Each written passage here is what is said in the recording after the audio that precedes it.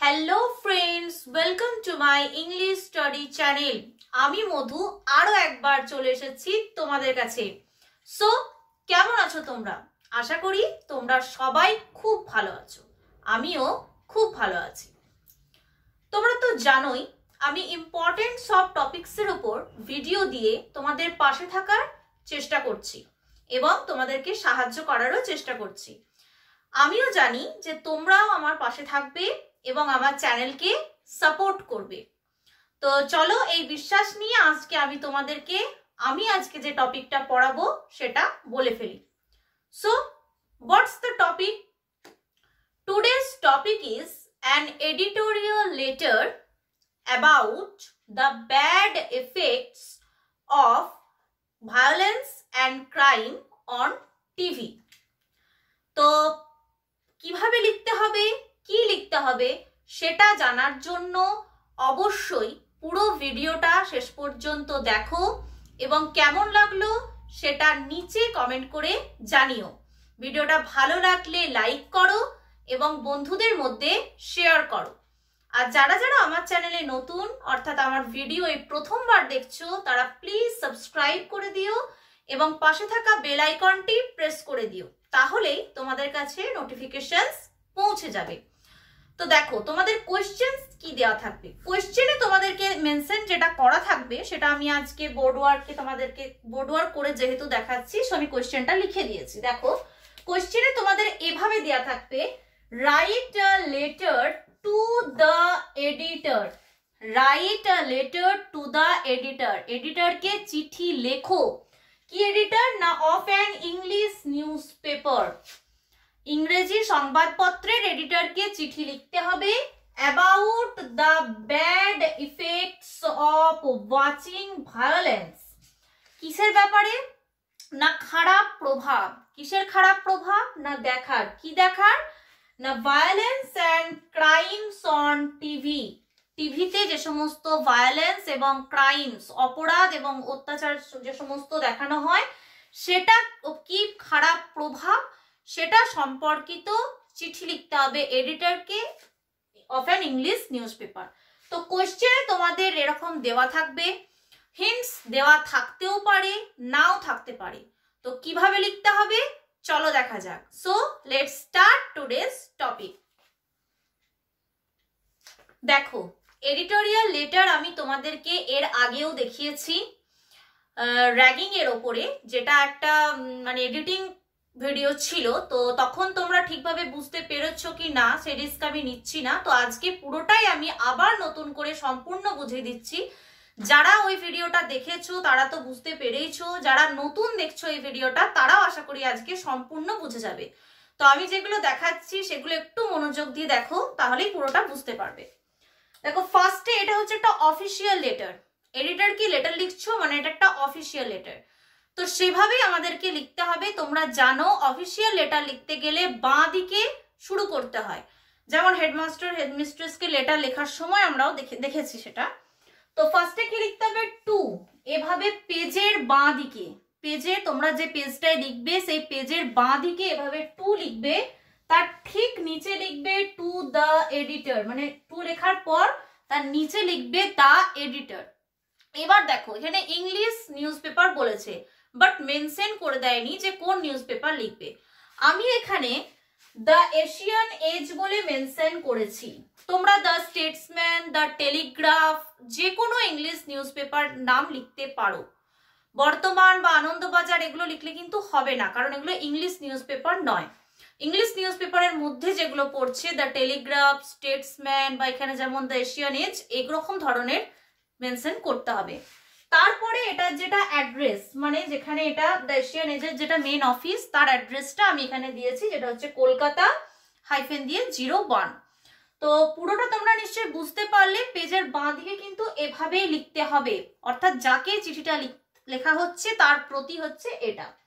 এতটা লেখার পর ঠিক এইভাবে এই জায়গাটা মেনটেন করে স্যার এই কথাটা লিখতে হবে। অবলিক দিয়ে আমি আর লিখছি না ম্যাডামও লিখতে পারো, কিন্তু স্যারটাই আমরা বেশি ইউজ করি তো, মহাশয়, তাই এখানে আমরা স্যার লিখেছি কমা দিয়ে। এটা শুধু দেখে নাও। এর পরের পেজে যখন আমি লেটারটা লিখতে শুরু করব, তখন আমি আবার স্যার দিয়েই কিন্তু লিখব। শুধুমাত্র কোনখানটা লিখতে হবে সেটা দেখানোর জন্য আমি এই পেজের লাস্টে জাস্ট স্যারটা মেনশন করেছি। লেটারটা লেখার সময় আমি আরেকবার স্যারটা লিখব। তো এটা হচ্ছে ফরম্যাট বাঁদিকে এটা দিয়ে কিন্তু শুরু করতে হবে। তো চলো দেখে নি এবার লেটারটা কীভাবে লিখব। তো দেখো, আমি আগেই বললাম, আগের পেজে আমি স্যার লিখেছিলাম বাট আমি আবার এখানে স্যার লিখেছি জাস্ট তোমাদেরকে বোঝানোর জন্য। তো যে কোনো লেটার লিখতে গেলে একটা ইন্ট্রোডাক্টরি প্যারাগ্রাফ তো দিতেই হয়, যে প্রথমে সূচনাটা লিখে তারপরে আমরা বডি অফ দ্য লেটারে আসি। বা আমরা এটাকে ইন্ট্রোডাক্টরি স্ট্যান্ডা বলি। তো ইন্ট্রোডাক্টরি স্ট্যান্ডা হিসাবে আমি এখানে যেটা দিয়েছি, সেটা হচ্ছে স্যার দিয়ে কমা দিয়ে I shall be highly obliged আমি আপনার কাছে বাধিত থাকব। তারপর দেখো ইফটা ঠিক স্যারের এসে নিচে এরকম একটা পজিশন থেকে শুরু হয়েছে।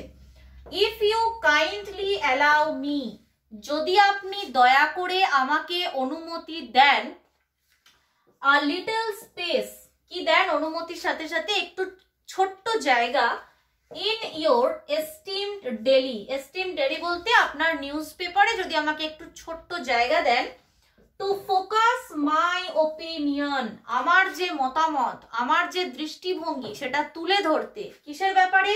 About the bad effects of watching কি সংক্রান্ত না খারাপ প্রভাব, যে ক্ষতিকর প্রভাব, কিসের না দেখার? কি দেখার? Violence and crimes on TV টিভিতে যে ভায়োলেন্স এবং ক্রাইমস এটা দেখার যে ক্ষতিকর প্রভাব বা যে খারাপ প্রভাব, সেটা সম্পর্কে কিছু তথ্য বা আমার যে ধারণা, সেটা প্রকাশ করার জন্য একটু জায়গা যদি আপনি আপনার নিউজ পেপারে দেন, সে অনুমতিটা এখানে চাওয়া হচ্ছে। তাহলে দেখো, এটা ইন্ট্রোডাক্টরি স্ট্যান্ড হিসেবে আমরা ইউজ করব এবং যে কোনো এডিটোরিয়াল লেটারের ক্ষেত্রে আমরা কতটা কমন লিখতে পারব? আমরা লিখতে পারব এই ওপিনিয়ন পর্যন্ত। আই স্যালবি থেকে ওপিনিয়ন পর্যন্ত আমরা কমন লিখতে পারব।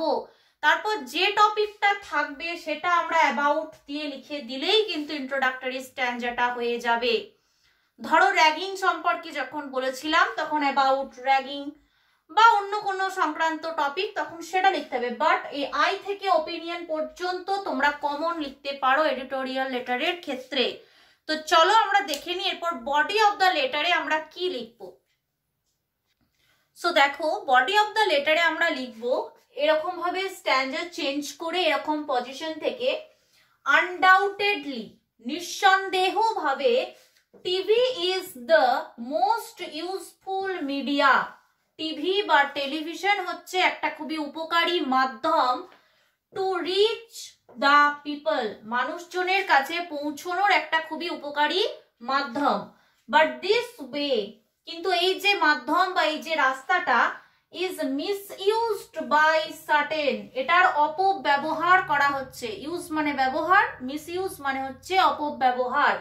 যেহেতু ইজ আছে, তার জন্য মিস ইউজড তোমরা জানো এটা passive form by certain serial and film makers কাদের দ্বারা? না, কিছু সংখ্যক সিরিয়াল এবং সিনেমা যারা তৈরি করে তাদের দ্বারা মিসইউজ হচ্ছে। Most of the current serials. যে সমস্ত কারেন্ট কারেন্ট মানে আমরা জানি যে কাছাকাছি যেগুলো ঘটছে মানে খুব সম্ভবত মানে এই রিসেন্ট যেটাকে আমরা বলি।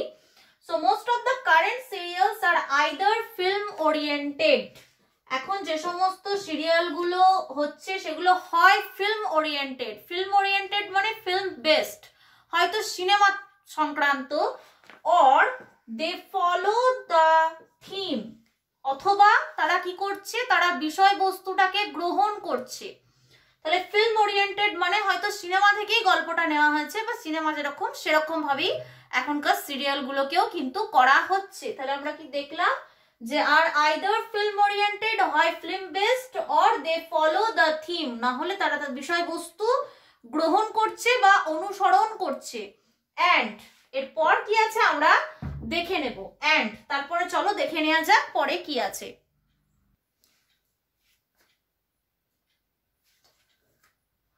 তাহলে দেখো, এরপর কি? Theme and ideology of film vulgarity তাহলে সিনেমাতে যে সমস্ত কিছু দেখানো হচ্ছে বা সিনেমার যে সমস্ত মতামত ওপিনিয়ন দৃষ্টিভঙ্গি, সেগুলো কিন্তু এখন সিরিয়ালেতে দেখানো হচ্ছে। To create cheap and dirty entertainment সস্তা এবং নোংরা মনোরঞ্জন সৃষ্টি করার জন্য বা করতে serials are often based on violence or crime তাহলে কি করা হচ্ছে? না সিরিয়ালগুলোকে কিসের উপর ভিত্তি করে তৈরি করা হচ্ছে? না সিরিয়ালগুলোতে বেশিরভাগ অপরাধ, ক্রাইম এবং ভায়োলেন্স কিন্তু দেখানো হচ্ছে। কিসের জন্য? না, মনোরঞ্জন তৈরি করতে। The people are affected by them এই সমস্ত জিনিসগুলো যে দেখানো হচ্ছে টিভিতে, এর জন্য কি হচ্ছে? না, মানুষরা এফেক্টেড হচ্ছে, ক্ষতিগ্রস্ত হচ্ছে। অ্যান্ড অ্যাজ আ রেজাল্ট এবং ফলবশত কি হচ্ছে?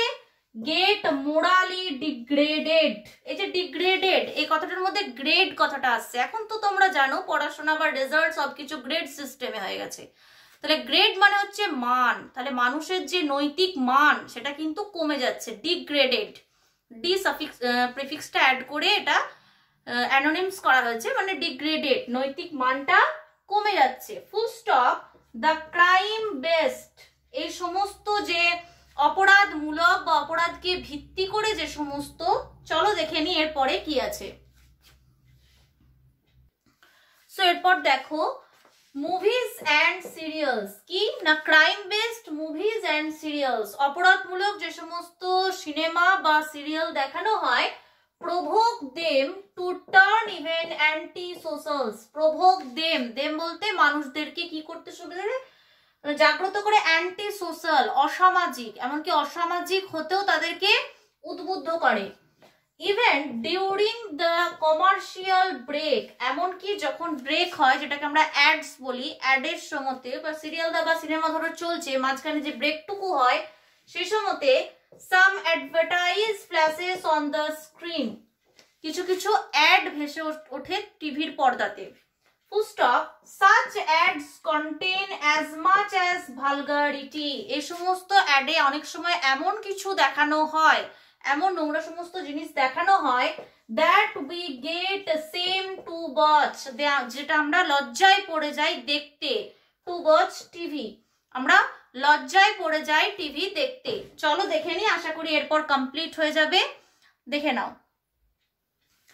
এরপর দেখো উইথ আওয়ার ফ্যামিলি মেম্বার্স তার আগে ছিল watch TV with our family members তো এমন এমন অ্যাড দেখানো হয় যে আমরা আমাদের ফ্যামিলি মেম্বার্স এর সাথে বসে টিভি দেখতে লজ্জায় পড়ে যাই।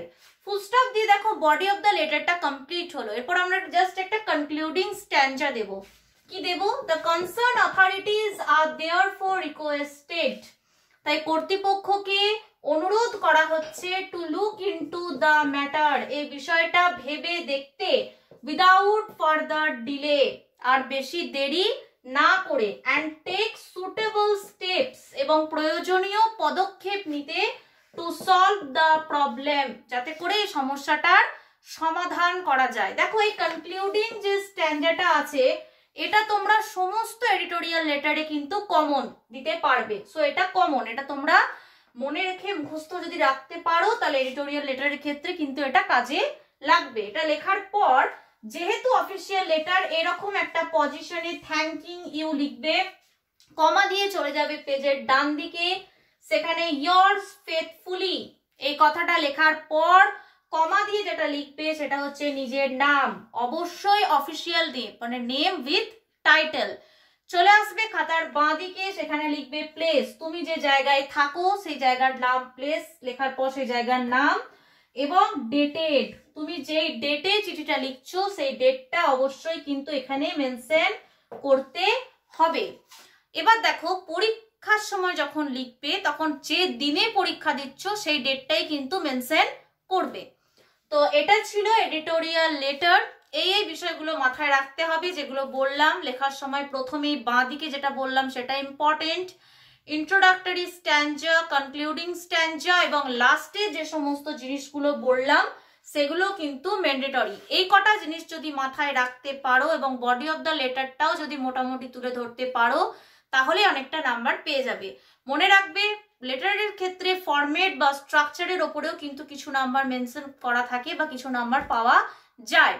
সো এই ছিল আমার আজকের ভিডিও একটু বড় হলো, কিন্তু খুবই ইম্পর্টেন্ট এটা অবশ্যই তোমরা মানে পড়ে যাবে এবং মনে রাখবে, তাহলে অনেক কাজে লাগবে। নেক্সট ভিডিওতে তোমাদের সাথে আবার দেখা হচ্ছে।